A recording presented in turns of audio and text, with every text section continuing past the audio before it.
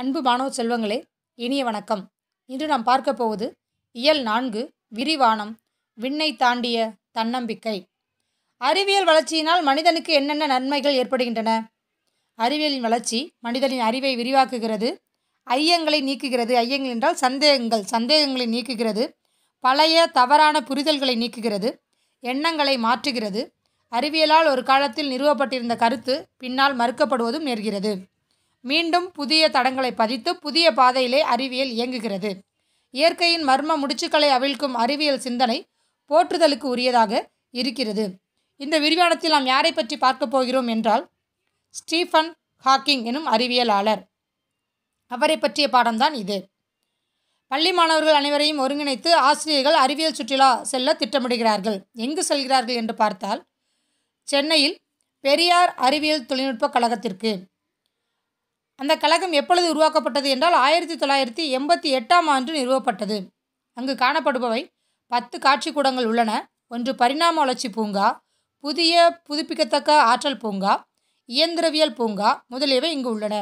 குழந்தைகள் அனைவரும் விளையாடுவதற்கு தக்கவாறு பொம்மைகளை கொண்ட பூங்காவும் இருக்கின்றது. கோளரங்கம் பற்றி மாணவர்கள் விவாதிக்கின்றனர். இயக்குனர் இந்த கோளரங்கம் தனித்துவம் வாய்ந்தது என்கிறார். இந்தியாவிலேயே முதல் முதலாக முன்னூற்றி அறுபது டிகிரி அரைவட்ட வானத்திரை இங்குதான் உள்ளது என்கிறார்.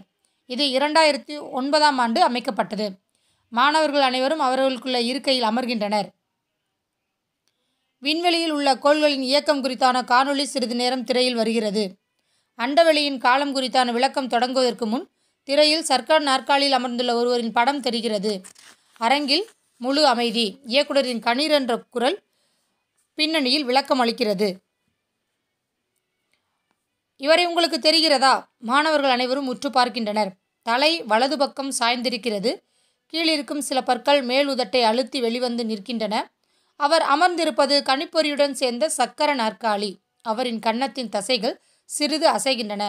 அவரது படத்தின் கீழ். மாற்றத்திற்கு ஏற்ப தகவமைத்து கொள்ளும் திறனே புத்தி கூர்மை. அறியாமை.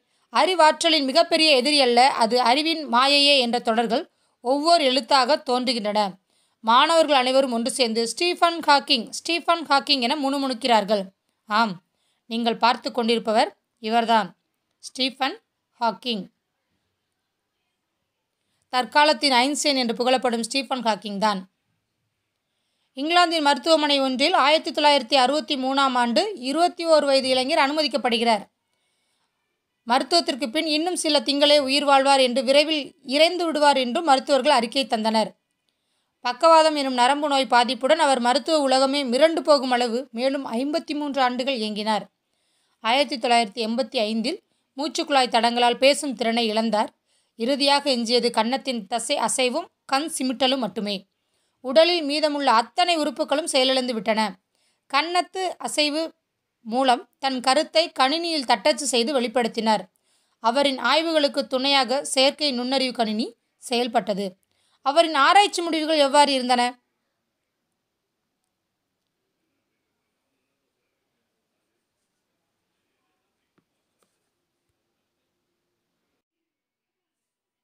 பேரண்ட பெருவிடைப்பு கருந்துளைகள் பற்றியான ஸ்டீஃபன் காக்கிங்கின் ஆராய்ச்சிகள் முக்கியமானவை. இப்பேரண்டம் பெருவெடிப்பினால் உருவானதே என்பதற்கான சான்றுகளை கணிதவியல் அடிப்படையில் விளக்கினார். இப்புவியின் படைப்பில் கடவுள் போன்ற ஒருவர் பின்னணியில் இருந்தார் என்பதை மறுத்தார். பிரபஞ்சத்தை இயக்கும் ஆற்றலாக கடவுள் என்ற ஒருவரை கட்டமைக்க வேண்டியதில்லை என்று கருதினார். ஸ்டீஃபன் காக்கிங்கின் கருத்து தான் என்ன? தலைவிதி தான் வாழ்க்கையை தீர்மானிக்கிறது என நம்புவர்களை பார்த்தால்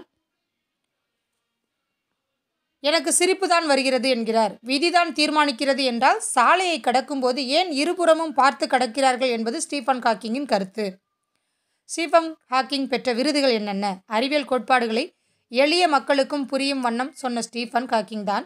முயற்சிக்கு கிடைத்த விருதுகள் பல. அவை அமெரிக்காவின் உயரிய விருதான அதிபர் விருது ஆல்பர்ட் ஐன்ஸ்டைன் விருது உல்ஃப் விருது ஹாப்லி பதக்கம் அடிப்படை இயற்பியல் பரிசு.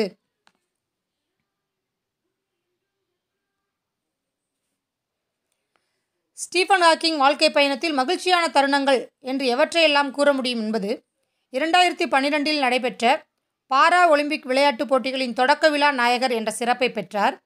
அடுத்த தலைமுறை பெருவெடிப்பு கோட்பாடு உள்ளிட்ட தொலைக்காட்சி தொடர்களில் பங்கேற்றார்.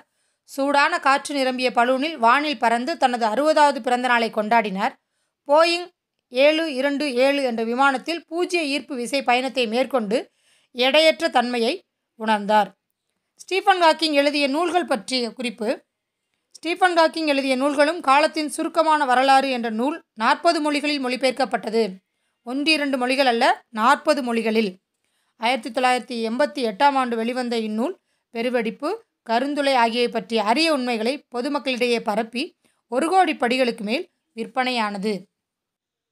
கற்றல் இனிமை பெற்று தேர்ச்சி பெற வாழ்த்துக்கள். நன்றி வணக்கம்.